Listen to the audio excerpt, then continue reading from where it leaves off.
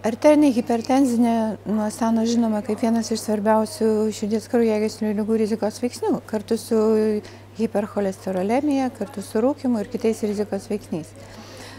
Bet pastaruoju metu kalbama ne tik tai apie tai, kad kraujospūdžio norminimas gali padėti išvengti miocardo infarkto, koronarinės širdies lygos, Bet garsiai kalbama ir apie tai, kad arterinės hipertenzijos gydimas gali padėti išvengti labiausiai invalidizuojančios širdies kraujagyslių lygos, tai yra insulto.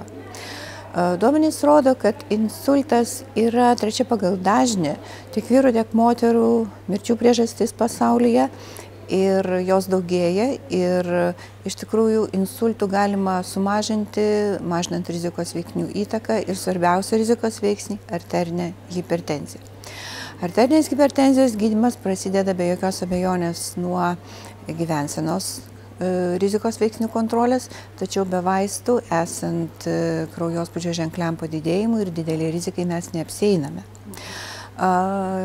Pastaruoju metu atlikta labai didelė metaanalizė, e, kurioje apibendrinta beveik milijono pacientų gydimo duomenys ir buvo nustatyta, kad labiausiai apsaugo nuo insulto tam tikra kraujospūdį mažinančių vaistų klasė.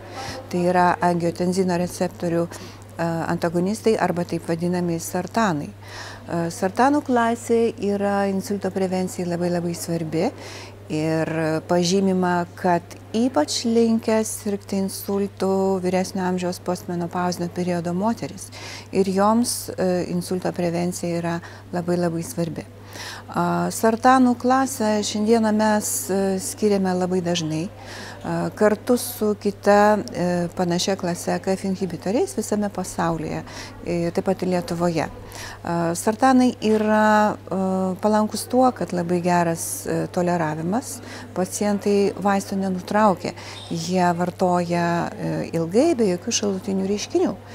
Ir ši vaistų klasė turi organus apsaugantį E, poveikį.